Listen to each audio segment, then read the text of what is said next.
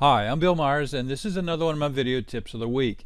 In this week's video tip, I'm going to show you how to add picture-in-picture -picture to Camtasia Studio 8. It's pretty easy to do and it's a nice effect. Now what you're seeing on the screen here is Camtasia Studio 8 and I've recorded a project. Now the project I recorded is a screen capture project and you can see the video here.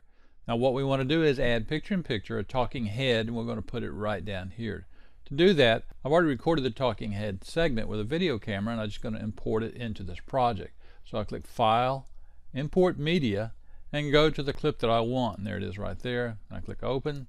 It shows up in my clip bin. Now my clip bin, I can grab that project and bring it down and put it on a video track above the video track where I have my current project. And that's it right there. So there's a picture in picture, but it's not where I want it. And what I want to do is I want to put it down here in this corner. So I'm going to drag it down to the corner. I'm going to resize it just by putting my mouse on that arrow and put it on the size that I want put it down right there. Now to make it more visible, I'm going to apply some effects to that. And to do that, I come over here and click Visual Properties. And on Visual Properties, I'm going to select Drop Shadow and put the drop shadow around my box right there. I can make that drop shadow larger by going like this so that it is more visible. If I want to, I can put a border around it and just click that to put a border and I can change the border color to anything I want. Maybe I want a darker gray border. I can put a border around like that and I can change the thickness of the border like this. So now I have my picture in picture and if I play my video you'll see that the picture in picture is right there. Now I know what you're asking, what if you want to move the picture in picture while the video is playing?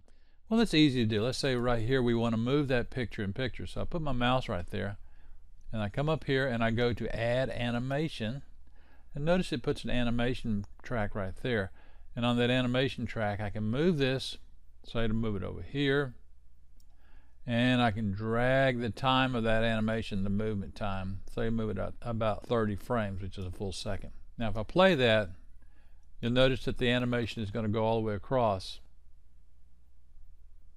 And it goes across the screen just like we wanted.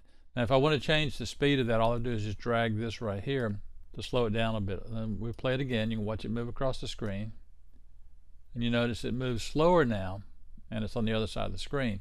Now, you're probably asking, well, what if you wanted to make it go away completely so that you can show a full screen but still have the voice talking? Again, that's pretty easy to do. Let's say we want right here, we want the lower third, this guy right here to disappear. So we put our mouse clip right there. We go up to add animation. We use the same tool that we did before.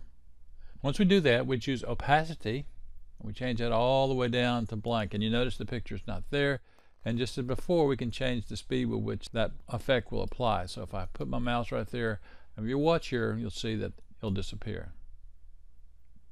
And there he goes. Now if you want to bring that person back, you click Add Animation, you push opacity back up, and change the time which will appear on the screen. So here we're going to have an effect where he goes off screen and then he comes back on screen. Watch this. There he goes off screen. And now we bring him back on screen. So it's really easy to do. And you can do this with talking head video or other video clips and you can move the clip around. You can resize the clip to be anything you want. And it's a nice way to add extra effects to your Camtasia video.